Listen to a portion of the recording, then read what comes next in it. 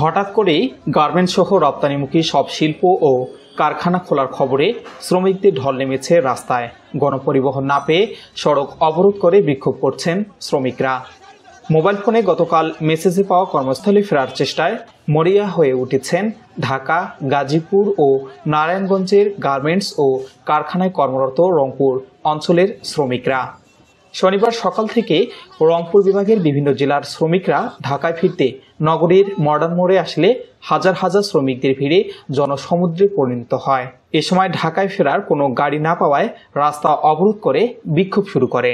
এ সময় বাদ যায়নি পুলিশ ও সেনাবাহিনীর গাড়ি সকল প্রকার পণ্যবাহী ট্রাক ও যানবাহন আটকিয়ে দেয় তারা। আগামীকালকে গার্মেন্টস প্রতিষ্ঠান সব কিছু খুলে দিয়েছে, অথচ গাড়ি ঘোড়া সব কিছু বন্ধ। তাহলে আমরা প্রতিষ্ঠানে যাব কীভাবে? ম্যানেজমেন্ট থেকে এমনও কিছু বলা হয়েছে যে, যদি ওনারা মানে সঠিক সময় যদি শ্রমিকরা গার্মেন্টসে উপস্থিত হতে না পারে, তাহলে তাদের হাজিরা কাটা হবে। এমনকি চাকরি পর্যন্ত যেতে পারে। তাহলে আমরা মানে যেভাবে সরকার আমাদের বাসা পর্যন্ত পৌঁছানোর সুযোগ দিতে সেভাবে আমাদের ঢাকা মানে প্রতিষ্ঠান যাওয়ার একটা সুযোগ করে দেয়। মেডিকেল মোড় থেকে মডার্ন মোড় পর্যন্ত সৃষ্টি হয় তীব্র যানজটের। লকডাউনের কারণে গাড়ি না থাকায় বিভিন্ন জায়গা থেকে অতিরিক্ত টাকা দিয়ে অটো রিজার্ভ করে মডার্ন মোড়ে ঢাকামুখী গাড়ির খোঁজে ভিড় করছেন শ্রমিকরা।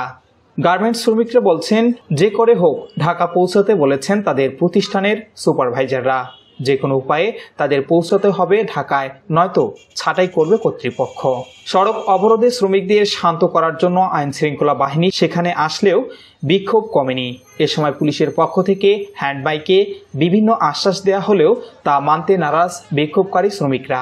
রংপুর মহানগর কোতোয়ালি জোনের সহকারী কমিশনার আলতাফ হোসেন জানান, গার্মেন্টস কর্মী ও শ্রমিকদের এই সমস্যার সমাধানে আমরা ঊর্ধ্বতন কর্তৃপক্ষের সাথে কথা বলছি। এদিকে গতকাল রাত থেকেই বিভিন্ন মালবাহী ট্রাকে চড়ে ঢাকার উদ্দেশ্যে রওনা দিতে দেখা গেছে অনেক মানুষকে।